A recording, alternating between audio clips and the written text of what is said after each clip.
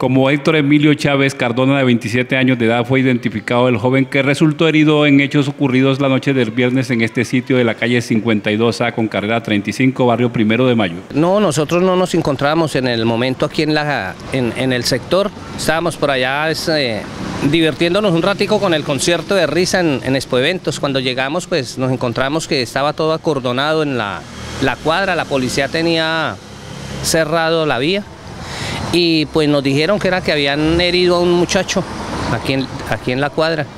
Entonces pues eso nos preocupa porque se ve nuevamente la inseguridad, no puede uno salir a la calle ni nada porque tiene uno siempre temor pero en cuanto al hecho no, no tenemos mayor conocimiento porque, como les repito, no nos encontramos acá en el sector en el momento. Según pudo establecer Enlace Noticias, de inmediato el hombre herido fue llevado a un centro asistencial donde los galenos a esta hora luchan por salvarle la vida. Pues sí, este sector es muy, muy, muy frecuentado porque tiene muchos sitios de diversión. Se encuentran aquí en el sector muchos sitios de diversión, entonces eh, llega gente de muchos sectores que uno no sabe quiénes son.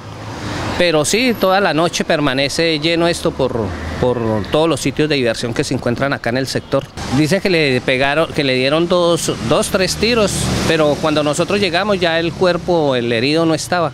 Ya solo estaba la policía y no dejaba pasar hacia allá. El sitio donde se registró el hecho violento es frecuentado por jóvenes a altas horas de la noche, consumiendo licor y algunas veces también estupefacientes.